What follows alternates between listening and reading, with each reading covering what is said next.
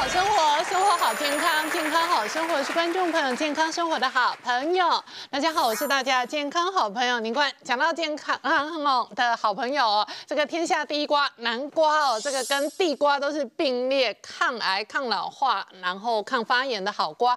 不过在台湾市面上，其实从东升南瓜到这个栗子南瓜，各式各样的品种都有。那还有一些是观赏用的南瓜，南瓜事实上哦，从皮到肉到籽，全身都是宝。那怎么样健康生活来应用呢？待会这一节健康好生活就要一一跟观众朋友来分享。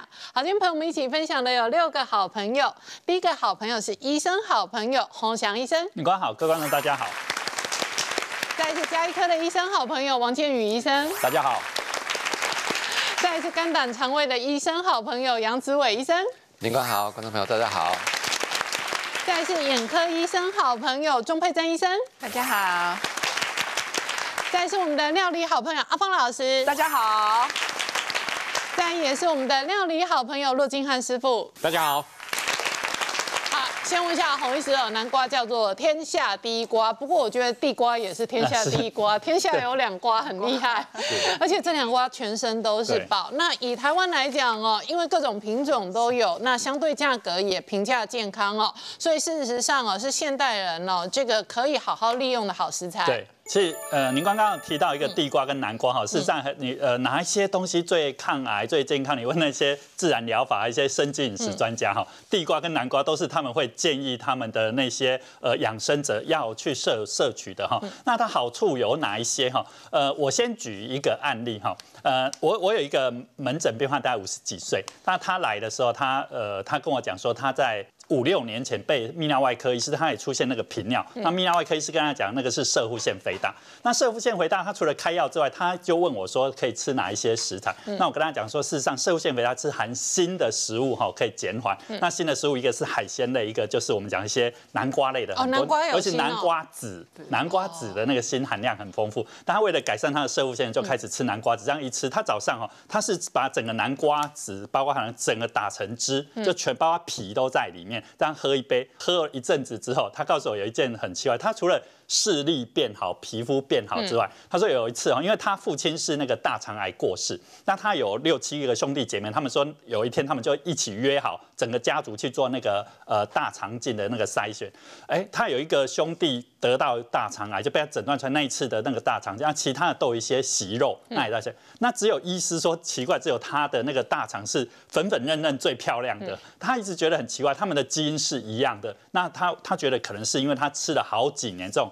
打成南瓜的这种果汁全汁来着，所以我们讲说，哎，南瓜是不是可以抗癌？但是从有从几个面向来看，的确是可能的。癌症常常跟很多慢性发炎相关。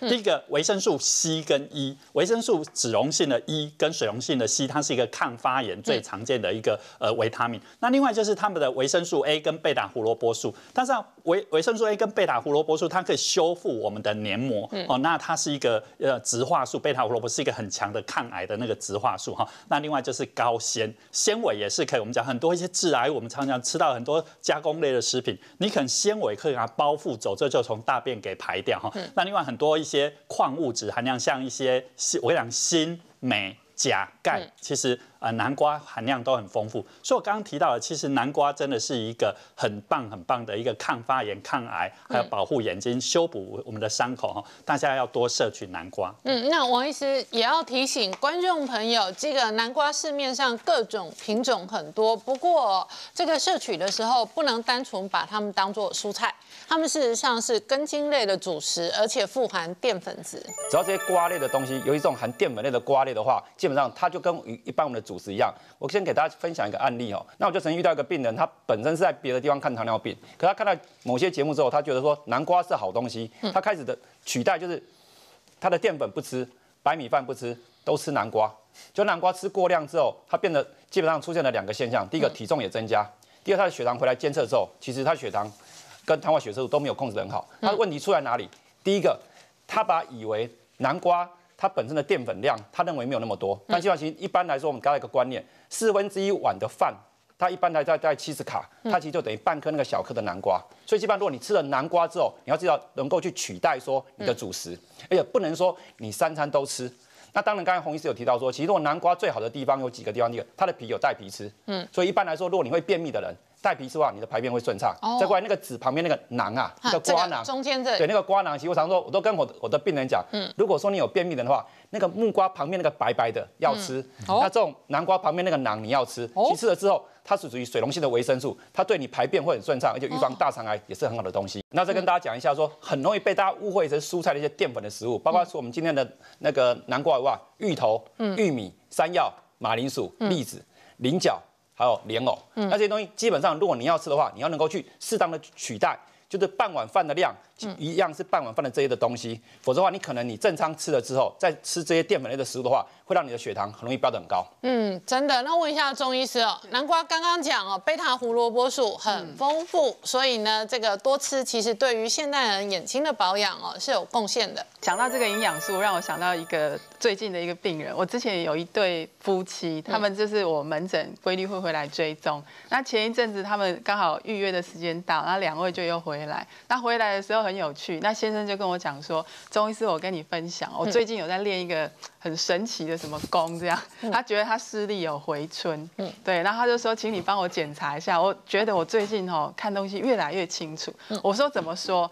他说：“我觉得啊，我以前啊，四十岁之后啊，都要戴老花。嗯，可是我最近觉得，哎，好像看书报啊，看手机，变成不用戴眼镜。嗯，对。然后我听到这里，其实嗯，我大概猜得到。然后我就接着问他说：，那请问你远的也变清楚了吗？还是觉得有稍微不清楚一点这样？然后他就嗯没讲的时候，太太就在旁边吐他槽，就说：对啊对了，医师你讲的对，他近的哈是真的都不用戴老花。可是啊，他最近啊，像我们要去爬山，要坐公车，像我们刚刚刚来搭公车，他连那个几号都看不清楚。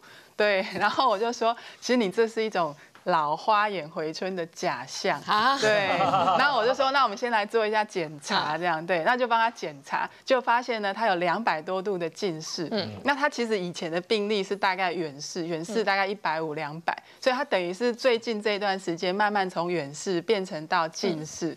对，那为什么呢？我们在帮他做检查，发现他其实就是白内障。哦，哦，白内障在成熟的过程，它的核心会膨胀，就曲率会增加，所以很多病人以前就是有远视，那慢慢变成近视。对，那近视的过程呢，就很像内装的一个凸透镜的老花眼镜，所以病人大部分会觉得说，哇，好棒！我最近看书报啊，看手机都变好了，所以这其实这是一种回春的假象啊。对，那所以呢，后来先生就很不好意思说啊，所以我练那个功其实 是没怎么效。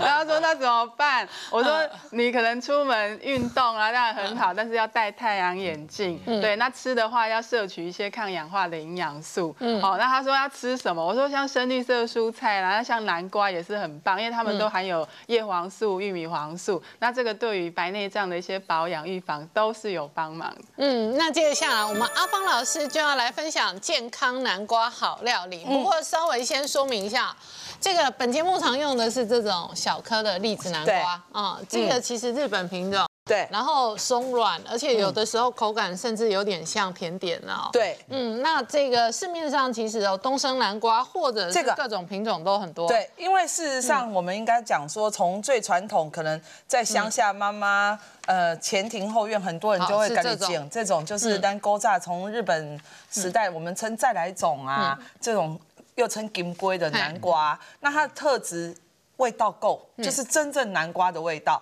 但是它随着它的成熟，比如宁官你拿的这一个，它还带有绿皮，对。它的颜色可能就会比较浅一点。对。然后呢，你稍微成熟了成熟了，你就发现它切开的肉呢，可能就会是像这样子，像几乎可以红到像。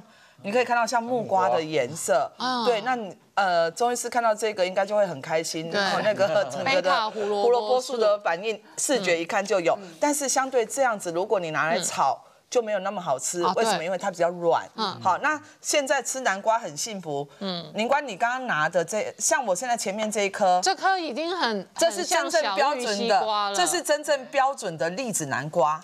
哦这是标准的栗子南瓜，嗯很大一颗，哈，然这后小家庭真的吃不完。，对，但是可以做一一南瓜好几次啊。然后呢，这个是有一段时间很红的这个嗯东升南瓜，皮比较薄。然后这边后面躲了一个很像 Halloween 嗯，的这个，嗯，这个是美国南瓜。这个是观赏用的还是可以吃？也可。以啊，也可以吃，不会说不能吃啊。哦只是多半在美国，他们就把它挖眼睛，画个三角万圣节啊。然后还有就是它的形体大到很大，我今天带来是小的。我跟你讲，超重的。。对，这个哈、有些小家庭主妇菜都不够来了哈，嗯会切不开。对我上次也有经验，栗子有一颗哦，我那边切了老半天。对啊，这种是又叫做小黑的，对这个也小黑是品种。然后我今天又来了，又看到一个很特别的，我觉得我们的农民好。这个好哈密瓜哦，这个给大家看看，这个白色李白南瓜也是呃像外来南瓜的口感、啊，南瓜味没有我们那么重。嗯哦，每一种南瓜其实都好，但是因为它有它各自，比如说像栗子南瓜比较干松，对。它有它适合的烹调方法。你要炒米粉，你拿栗子南瓜炒，有人说安坦龙博告低，对。你要挑的就是我们传统的再来的品种传统品种，对，所以你就可以做出很多样的。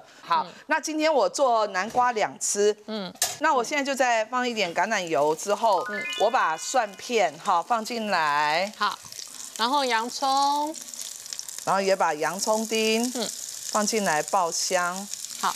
老师，你的南瓜平常如果家里头有多的，其实哦，只要阴凉的地方哦，它都可以保存对，。甚至你改像我们今天现场摆一摆，你把它放在客厅的一个角落，都门进来的门廊，人家供金龟好哦，就就金光招财，闪闪，金光闪闪，对不对？招财进宝。对对对，就有那个感受。好那妈妈可以在各种不同的这个料理方式，嗯想办法把南瓜让家人可以吃得下来。可是我觉得早餐有人蒸蒸打豆浆也很好哈。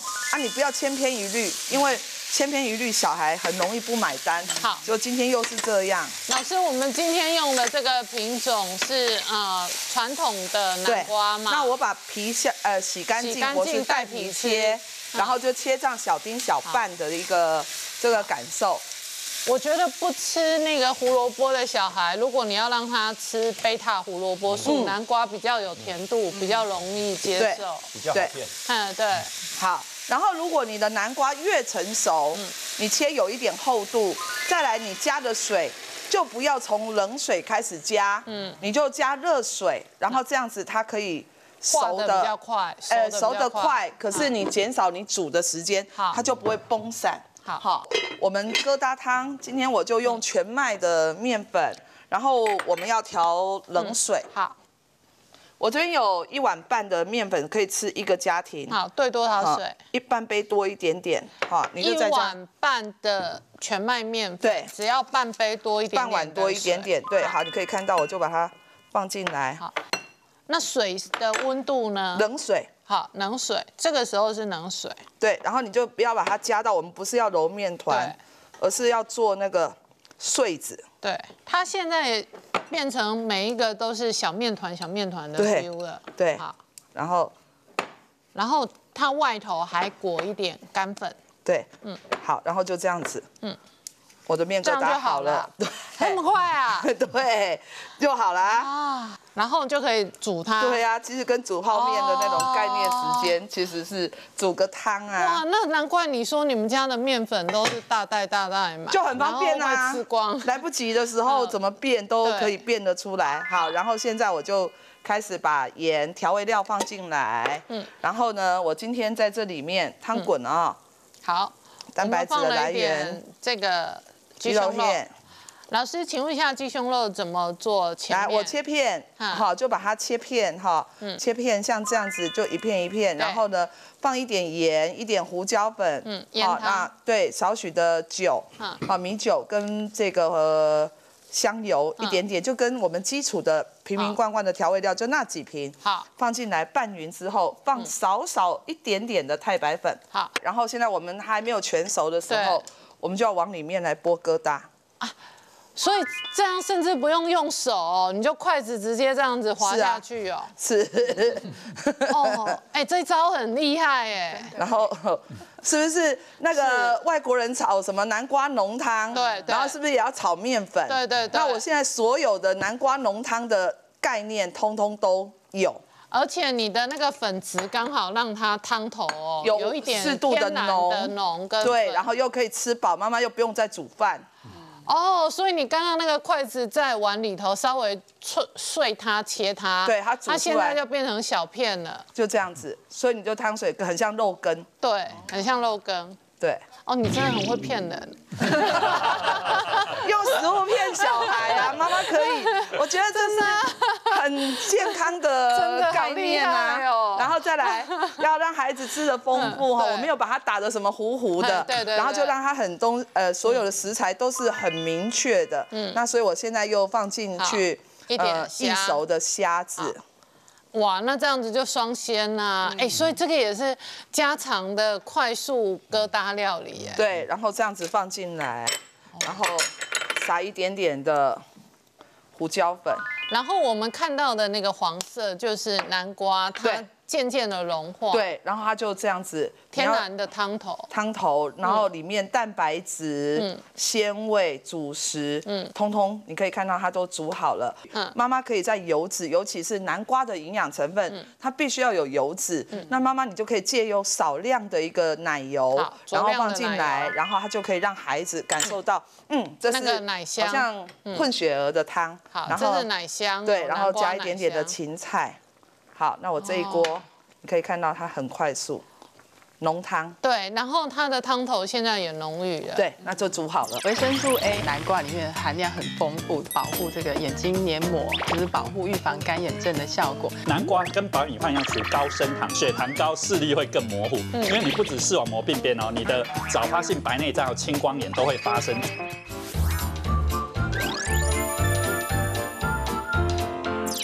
所以这是南瓜第一吃，对很方便哈就家里面假日煮一锅嗯，你的南瓜很快就解决掉一颗了。嗯对好好。然后今天我做的还有另外一个就是甜点，这个这个你看很厉害的 我们制作单位布丁所有的工作伙伴点的要我做南瓜布丁对哈。那很多妈妈说，那老师我是不是一定都要去找？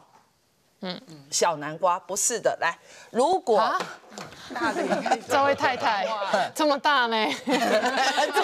要开生日蛋糕，对不对？对啊不是哈太太，我们说这中间不是有一个顶吗嗯？对然后你就把它避过那个顶，嗯，你就直接只要取这一半。哦，这一半下来就是避过这个顶，出来做把它比定过来，然后它这样就会一样有个凹槽，你也一样可以在那，所以你会看到这个大的，就是我取用大的南瓜做，整颗的都可以做这样子。好，那我们今天做的这一盅是小的栗子南瓜，对，就是栗子南瓜。那我给镜头看一下哦，其实就简单的把它这样子啊、呃对切出来。是那中间的瓜子瓜囊把它挖挖出出来，可是你要有一点技巧，什么技巧？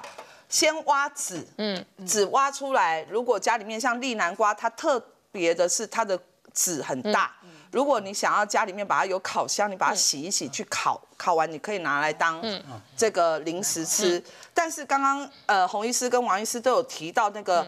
囊的那个纤维的部分，我其实是挖出来的，你们可以看到在哪里。哎我挖出来之后，我去煮水，哎，然后还有希望孩子会希望说妈妈布丁大块一点点，嗯。你把那个南瓜肉啊多多少少挖一点出来，你就跟一点水去煮，煮完之后过滤，把它们的膳食纤维留下跟甜味把它留下来，哦这样子好就可以善用。然后呢，在这里面好你就可以适度的。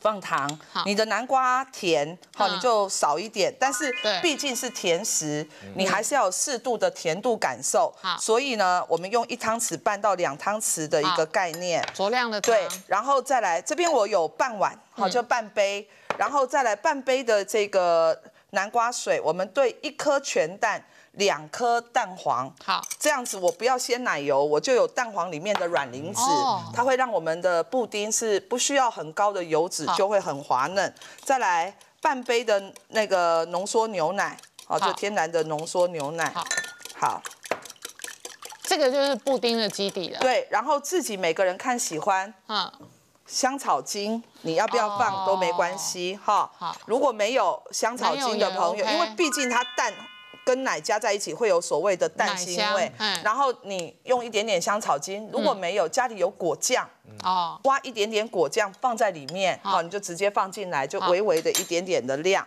好，然后把它们打匀，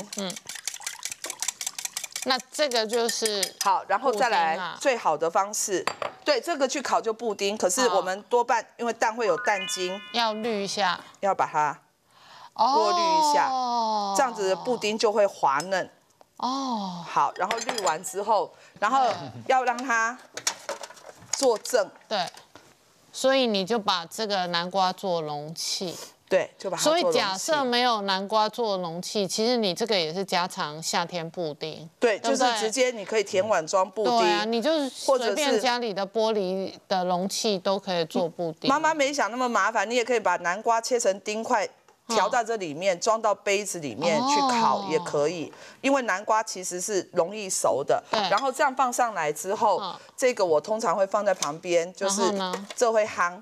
你要用烤的哦也可以，要用电锅蒸都可以。所以用蒸的是一个做法，用如果烤的是一个做法。倒烤箱的话，我们就记得你的盘子旁边不是倒在那个南瓜里面哦嗯，就放一点热水，这样子它就进烤箱，用两百度左右的温度看南瓜烤好了，它上面会蓬起来的感觉，会南瓜熟，布丁也熟。嗯如果没有烤箱的朋友，你要直接把它放像这样子，南瓜是把它蹲在。嗯一个碗上面移到哪里？移到电锅，可是电锅会有水分对，会让南瓜不好吃，就是上面稍微盖一个那个铝箔纸，好那蒸熟也可以。那就会长这样。对啊，就会长这样。所以这个是还没有熟的，对然后啊这个是熟熟的，熟的中间就是布丁，布丁旁边就是天然的栗子南瓜。那对栗子南瓜因为天然鲜甜哦，嗯它吃起来也会有天然口感的那个像甜点感。对，那你就看大或小，就再来就是跟切西瓜一样，好切生日蛋糕一样，就全家可以享用害。，可以上这个真的很厉害。哎，就这样在家里面，妈妈一变，小孩就会哦，吃饱饭后有南瓜布丁。的嗯事实上里面那个布丁只有一点点都是南瓜。真的，那我们来试吃哦。其实南瓜蜜疙瘩它吃起来像是一个很有深度的肉羹的味道，因为可是它的胡椒盐，这让我那加上那面疙瘩真的是装的太像肉羹了哈。它真的是有肉，因为它是鸡肉跟那个海鲜的那个虾子哦，所以真的是深度很深的一个肉羹的那个味道哈。吃这个爸爸、阿公、啊妈妈都会非常喜欢这道料理哈，这真的很赞。我觉得栗子南瓜有一个特征哈，它的松绵跟甜，它是属于比较甜的，对可是又不像地瓜那么甜蜜哈，所以介于中间有那种日式甜点的味道，但是又没有像法式甜点那些什么焦糖啊、果糖啊、玉米糖浆那种那黏腻哈，所以这个是很健康的一道饮食哈。我一直在讲说哈，其实吃地瓜，我们一直讲的它实在是很适合呃糖尿病的人吃，因为它是属于，但是我要提醒大家一件事哦，南瓜它的升糖指数多少？它高达七十五，呃，我们白米饭是八十四，所以它是属于还跟白米饭一样属于高升糖指数。但是所以我提醒大家，要要吃那个南瓜的话，也要取代那个主食哈。我就举一一个案例，我一个六十几岁的一个喜肾病人，我查房的时候。那他就跟我讲，洪洪医生很奇怪，我最近哦吃完饭之后就口干舌燥，我就当场请护理人员帮他扎一下手指头，呃血饭后血糖四百二，啊饭后血糖四百二是很高，一般空腹我们希望控制到一百四以内，饭后不要超过两百。那我就说，哎，你中午到底吃什么？为什么一餐可以让你呃上升到四百二？他说，呃，他一个礼拜前去听一个演讲，因为他最近哦视力不好了，那去眼科诊断是那个糖尿病的视网膜病变，那听演演讲演讲说要多吃南瓜，他就开始吃南瓜。我就问他，你吃南瓜是对的，可是你没有吃白饭。他说他也是吃白饭，他说他没有吃白饭，没有那个饱足感。他让你吃白饭，他把南瓜当做蔬菜啦。对所以刚刚王医师有提到，其实很多都犯了这个问题。我刚我就跟他提出那个，哎。南瓜升糖指数指数七十五，只要高于五十九都属于高升糖指数。只是它因为它有矿物质，有一些钴啊、锌啊，还有一些纤维素，可以把那个升糖给降低一点点，但还是很高。你如果取代白饭八十四，哎，这就是对了。你取代一个用一个比较两个同属高升糖指数，但是它相对是比较低的。可是你如果说以它来当做你又吃了白饭又吃这个，就真的热量太高。那我就请他，我就问他说，你这样吃了一个礼拜，视力有没有好？他说更模糊了。我跟大家讲，血糖高视力会更模糊，因为你不止视网膜病变哦，你的早发性白内障、青光眼都会发生。高血糖是对眼睛是很伤的。那我后来当然不把他多打了一些胰岛素，然后请他就是说白饭就不要吃，你如果要真的要吃南瓜的话，那这样子再吃一个礼拜，哎，他的血糖就下来了，哎，视力也变得比较好。它有很多的膳食纤维，膳食纤维很像是一个刷子哈，它吃下去在我们的肠道里面可以把那些脏东西刷下来。吃很多南瓜可以治疗他的便秘，可以让他身体比较好。就吃了这么多所富含贝塔胡萝卜素的东西之后，这样吃到快一个月、两个月，全身就开始发黄。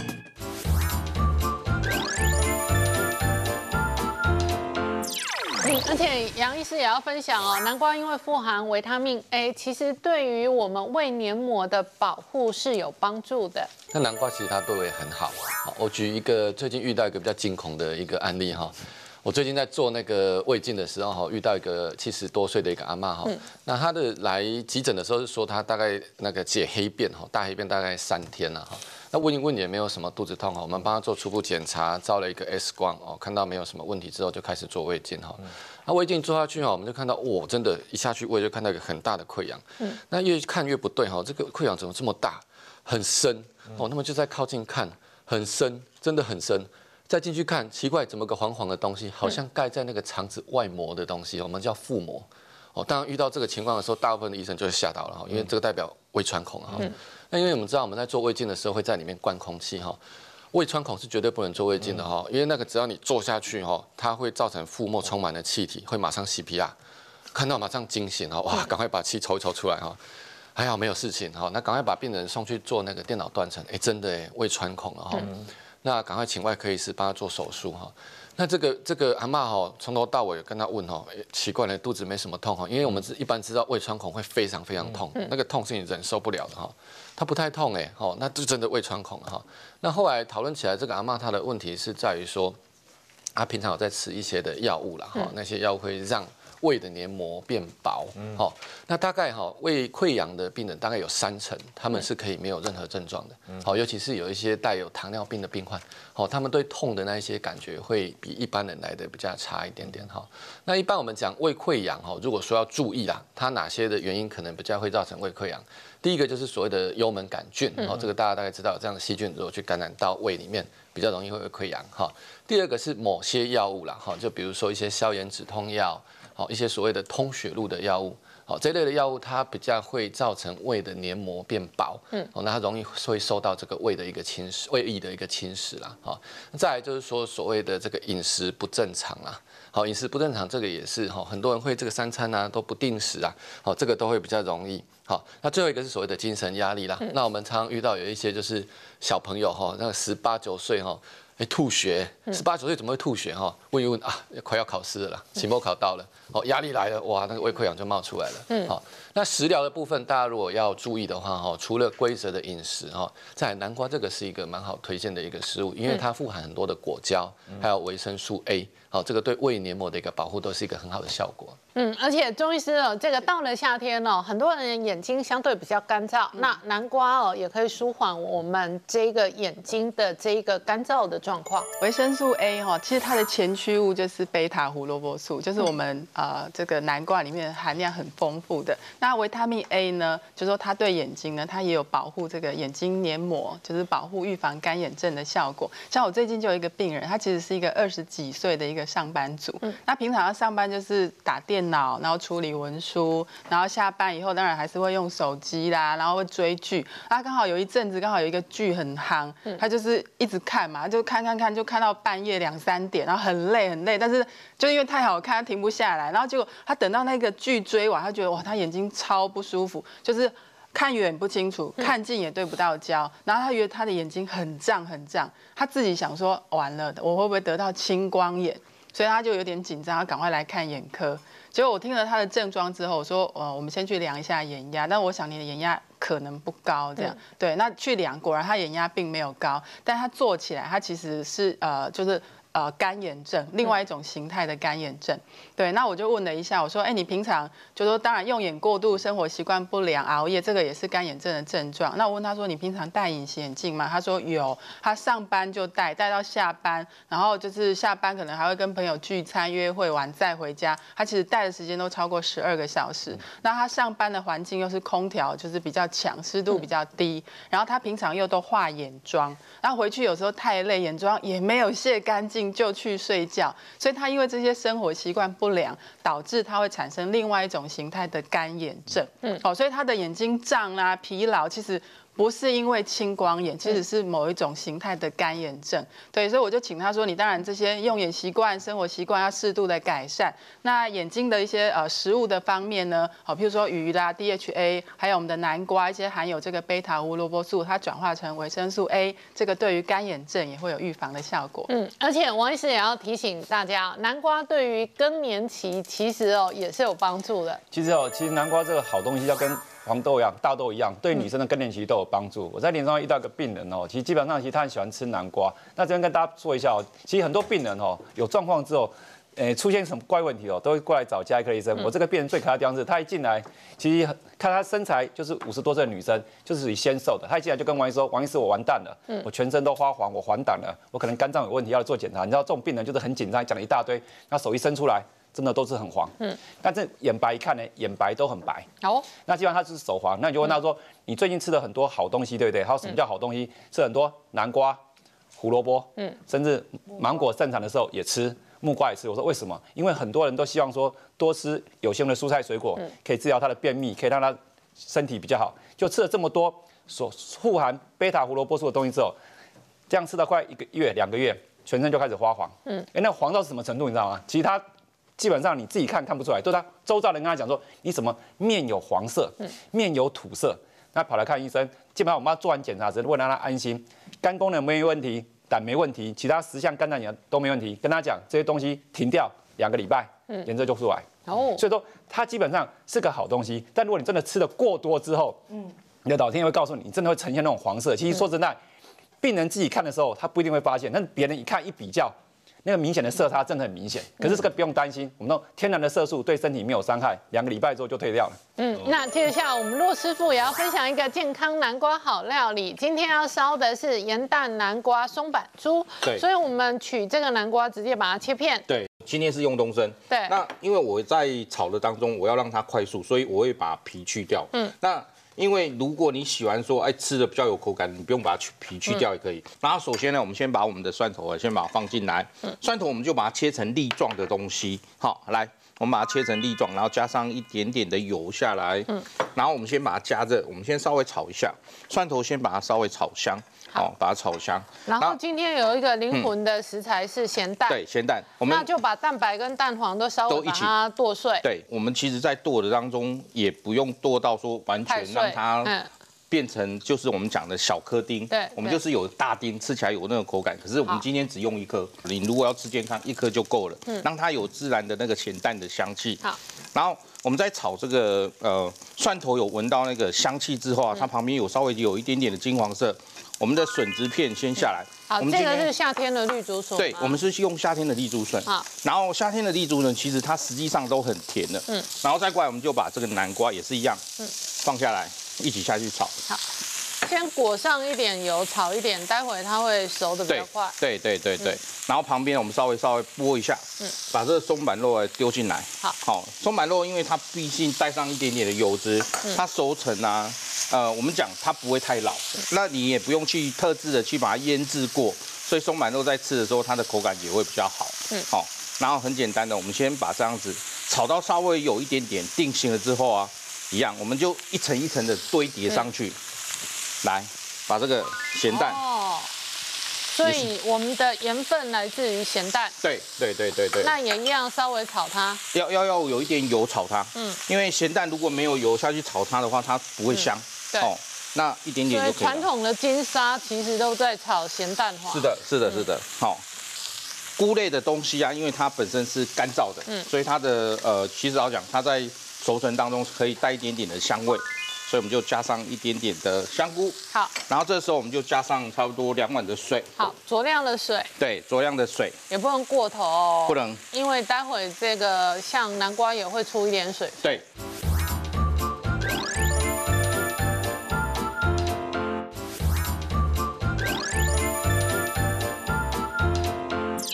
差不多一碗至两碗的水啊，然后我们就下去稍微炖一下。好，哦，那我们炖它焖它。那炖它焖它，同时请教一下洪医师，南瓜因为好处多多，所以这个很多人哦，把它当成好食材的话，唯一要注意的是肾脏病的。肾脏病的，如果说要控制钾离子的话，其实蔬果类的钾离子哦，都是含量比较高的。对，呃，我们每次在喂教慢性肾衰竭的病人，就要什么限磷、限钾、限蛋白等等哈，但是常常哈，有些病人只会听一半哈。我那一天哈遇到一个五十几岁的，呃，他是一个我的门诊多囊肾的病患，他肾功能其实还没有到那么糟糕，到第四期还有二十分。那我预期哈，他应该还有好几年才洗肾，可是突然间我的洗肾室打电话给我说。他已经在洗肾室，已经开始洗肾了啊！我非常压抑。那我后来遇到他，问问他发生什么事。我后来发现，其实我的胃教可能他没有听全套，只听进一半套。其实呃，慢性肾衰竭之后，我们的精神体力会很糟，血压高，会贫血，所以他很多事他都。可是男生哦，最在意一件事是晚上哈，跟呃老婆办那件事力不从心。这个他们这个是一个很实际的问题，但是他们不好意思跟医师讨论。那他后来他就选择就是一样，跟我第一个案例，他一样是把那个南瓜。连皮带籽打成汁，加南瓜全汁，这样喝。喝着喝着，刚开始真的有改善，嗯，那不久之后就出现，他说有一次他喝完大概十分钟之后，就出现很奇怪，感觉像吸不到气，而且心跳很快，然后那个心悸，然后一开始冒冷汗，就送到急诊室了。钾离子那时候已经七点三，我们正常钾离子三点五到五点二哈，七点多的时候就很危险，因为肾功能已经不好了。后来就紧急叫洗肾室开始急洗，洗完之后肾功能没有恢复，就开始就从此开始洗肾。我要提醒大家，万一哈你真的是慢性肾衰竭那。件事力不从心，我的经验是把你的血色素拉高，因为你贫血嘛。那那件，那这个时候可以打一些，呃，他可能还没有到到达健保局可以给付红血球生成素，可以你可以自费买那个红血球生成素来打。那事实上血色素拉高之后，精神体力会改善很多。好，不过杨医师哦，临床上也要分享哦，现代人很多人罹患大肠癌哦，其实南瓜顶呱呱的膳食纤维对于预防大肠癌哦相当好。跟大家分享一个案例哈，这个有点悲伤哈，他是一个二十八岁的一个男男生啊哈，那他很年轻哦，他一来的时候哈，就是整个肚子胀起来了哈，后来检查起来确定是所谓的大肠癌的转移啦，哦，产生很多的腹水哈，二十八岁怎么会得到大肠癌哈？后来帮他问起来哈，第一个他的阿公是大肠癌过世，他的叔叔也大肠癌，好，所以他是属于一个高遗传风险的一个案例了哈。那他这个病人一开始哈，他有一个交往很久、论及婚嫁的女友跟他一起来看病哦。那这个这个女友非常的贴心哈，一直陪伴他，陪伴到他，我照顾他到后来哈，突然间这个女生不见了。嗯。好，那跟他问起来才知道哈，他为了这个女生跟他讲说，你你就分手吧，哈，就不要误了你的未来哦，很像那个真的是连续剧里面那种剧情哦，看得非常难过。那后来这个男生大概奋战了两年之后就就走掉了哈。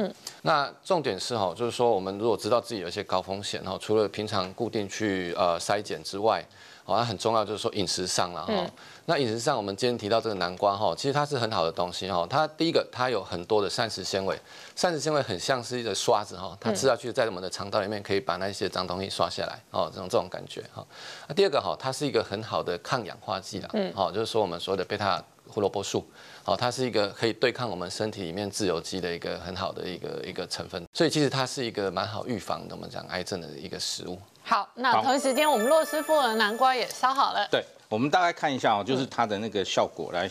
好香哦。它直接下去焖的话，它会有一点点的这样的一个软嫩的一个效果。嗯。然后它其实老讲，它你一搓一进去，它就已经熟了。哦哦，好，来过了就熟了。然后这个时候就很简单，来。配一点颜色，辣椒，提一点辣椒，酌量，然后加一点味道，就是一点点。盐巴，对，因为它咸蛋的咸还是够的，所以少许的呃盐巴下去，然后记得综合一下它的那个味道，我们加上一点点的糖，好，酌量的糖，对，酌量的糖，少许就可以了，因为毕竟南瓜的甜分也都够，嗯，然后我们再加上一点点的葱花，嗯，增加它的那个颜色性，然后再过来起锅之前呢。加上一点点的香油，因为南瓜要有一点点油脂，它吃起来比较滑口。好然后加上一点点的胡椒粉，好，那我们就来试吃哦。南瓜吸到这个汁啊，跟这些笋子啊、香菇混在一起，还有肉的鲜甜，而且我觉得最妙的是，因为加了这个咸蛋黄，对，然后还有那个胡椒粉的调味，就是有点炎热的夏天，然后它又把这个味道提出来，让你觉得就是，即便像我刚刚。好像已经不太饿，可是吃了第一口就觉得哎、很好吃，然后就接下去吃，一口接一口对，忍不住就把它快吃完了。对，这真的是一个就是在夏天大家可以试一试尝试的一道菜，我觉得很棒。其实南瓜因为它富含很多的营养啦，就说在呃以我眼科来说，它真的是一个。很值得推广的一个有护眼营养素的食物，不过东西都是这样，就是过犹不及。不过我先跟大家分享一个案例，就是我最近有一个病人啊，他是一个呃五十几岁，他也是一个就是我们的上班族。那他平常其实就有飞蚊症，他也检查过嘛，啊视网膜也没什么问题，所以我就跟他说，哎，你要跟你的飞蚊好好的和平共处，所以他也就听了我的话，就是也还好。可是呢，他觉得他最近就是。那种黑影的感觉越来越明显，就是以前可能是一只小飞蚊会飞来飞去、跑来跑去，可他觉得他最近那个黑影是好像有越来越大。然后呢，他观察了一两个月之后，他发现好像不太对，他觉得那个黑影是不会跑，跟以前那种会飞来飞去的小飞蚊不太一样，它就在正中间，而且他觉得。很奇怪的是，那一只飞蚊无论何时，只要他眼睛打开就是在，所以他后来觉得说，嗯，他还是来定期检查他。但是因为我之前跟他说，你就是大概半年到一年定期，那他这次他就还蛮有警觉性，他就提早来。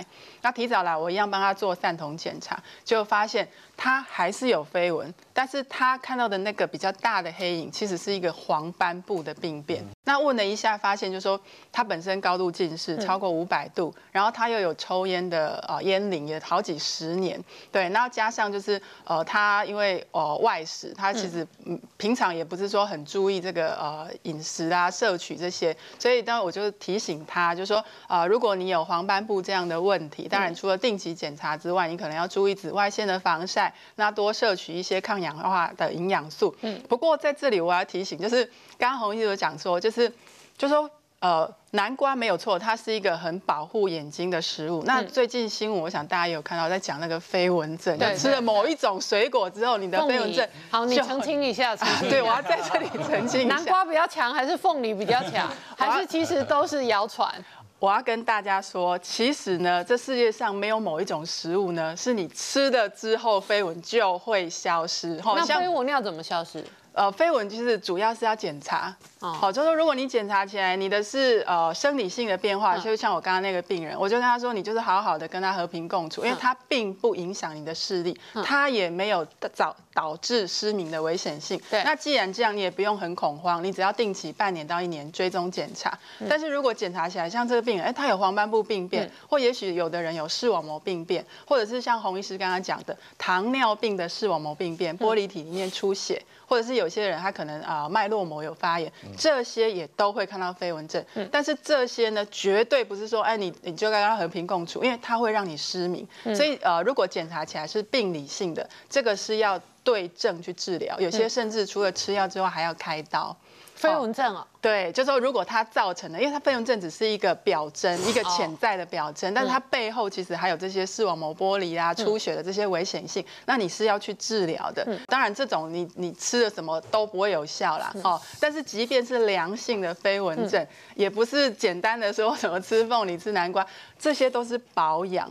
好，那也有病人问我说，那吃叶黄素？哎，是等等等等，所以我们再回来。所以所谓吃凤梨可能影响飞蚊症，其实说穿了应该是说，如果你是要保养眼睛，抗氧化的食材可能都会对你有帮助。对，但可是如果已经有飞蚊症，你不可能靠吃凤梨把飞蚊症吃好。对，一百分，所以 对林官呢帮我解释的很正确，对，所以不要大家。太天真，就得了飞蚊症，每天照三餐吃凤梨这样。对，而且呢，如果血糖高的人，你每天吃凤梨，我们刚刚讲凤梨它其实比南瓜它的这个甜分又更高，更高对所以呃，如果说你已经血糖很高，嗯你又吃了一堆，而且是照每天这样吃，吃了这么长一段时间，你真的要小心你的血糖高，这个可能还会导致。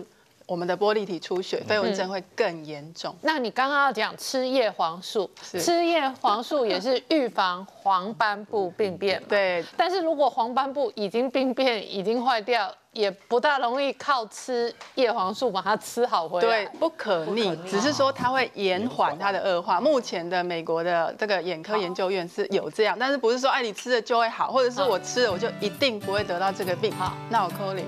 哦，就跟女生嘛，你有维他命 C，你皮肤会好一点，对那老化的慢一点。是但是已经老化的皱纹不可能吃维他命 C 好回来 对所以 大家不要太天真。是 好，谢谢医生的分享，也谢谢我们这么多好朋友分享。我们今天分享了健康好料理的食谱跟做法，也都会 PO 在年代骂趣台健康好生活的脸书，还有赖的官方账号的主页。同一时间，我们的影片也会上传健康好生活的 YouTube 官方的频道，欢迎观众朋友扫描 QR code 直接按订阅。那健康好生活，我们下次同一时间准时再见，拜拜。